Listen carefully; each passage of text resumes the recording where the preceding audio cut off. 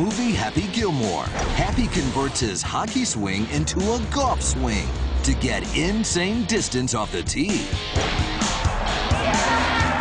Pummeling his drives over 400 yards. But does this actually work? Is it a Hollywood trick?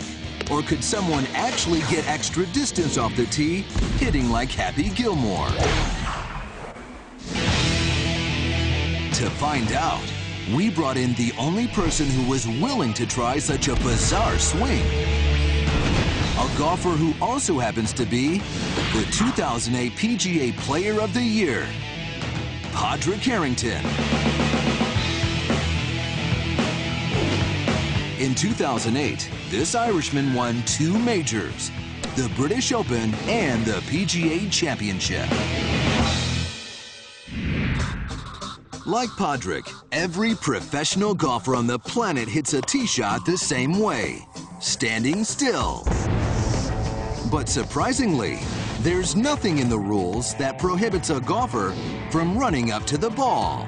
It's perfectly legal to use the Happy Gilmore swing on the golf course. There's, there's nothing stopping you running up. But hitting a driver is hard enough when you're standing still. Even pro golfers only hit the fairway 60% of the time.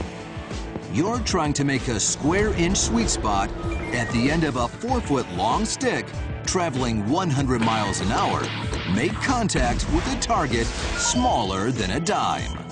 So that kind of precision on the run is actually next to impossible. Padraig's not exactly short off the tee. His normal drives average 296 yards. But the idea of getting extra distance off the tee, like Happy, is tempting, even for a pro like Padraig Harrington. The bigger a hitter you are, it is an advantage. The best player in the world always tends to be the longest hitter in the world or, or close to it. He always has a length advantage. So, could a successful Happy Gilmore swing generate more distance off the tee? Help a pro like Padraig win more tournaments? And if so, shouldn't golfers around the world rethink the way they hit golf shots? It's time to take the shackles off of golf and see if Padraig can hit a golf ball while running.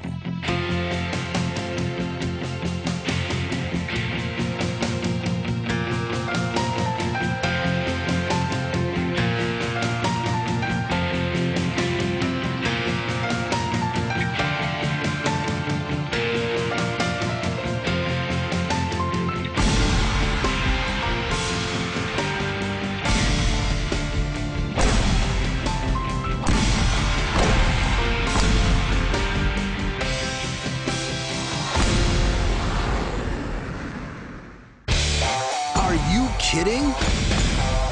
Padraig totally smokes his Happy Gilmore drive. And he doesn't just take a step into the ball like Happy. He gets a full-on running start. Well, I noticed that both my feet left the ground at one point, so I was airborne. At first glance, the two driving styles look radically different.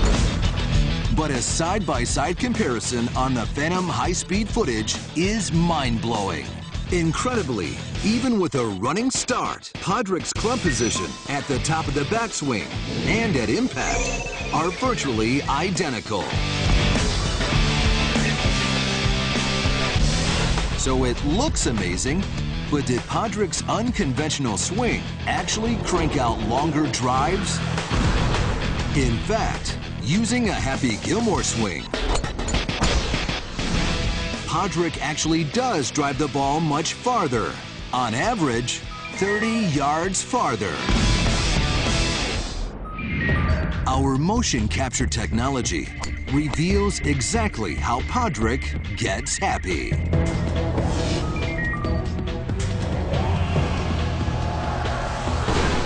Padraig attacks the ball at 4 miles an hour. This forward momentum helps increase clubhead speed from his normal 107 up to 114 miles an hour. More importantly, his run-up enables him to make a huge shoulder turn. And this is one key to extra distance. Pros call it the X Factor. That's how much you stretch your hip away from your shoulder in the downswing. And because I plant a little bit like a javelin thrower in my Happy Gilmore, I get a much better stretch. And then my left hip stops much quicker so that I get that acceleration. Padraig's increased shoulder turn means that he can hit his Happy Gilmore drives a full 10% farther than his normal drives. And those extra yards off the tee can mean a big difference on the next shot. If you're approaching the green from 30 yards closer, you're hitting less club, and you've got a better chance of sticking that ball near the hole. So why doesn't Padraig use this crazy swing on the golf course? It comes down to consistency and accuracy. I don't believe I'd be as accurate.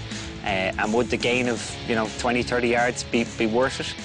Because added distance can also mean added distance the wrong way. At impact, a club face that is twisted only one degree offline or makes contact a couple of millimeters away from the sweet spot can result in a drive that travels 20 yards offline. I'd like to do it on the golf course, but I'm too cautious for that. Ultimately, in a sport where millions of dollars could come down to one or two strokes, the risk isn't worth the reward. But for the rest of us, since we all pretty much stink anyway, even Padraig recommends we try it. If you're going to try the Happy Gilmore, and I think you should try it, don't think too much about it and just give it a good hit.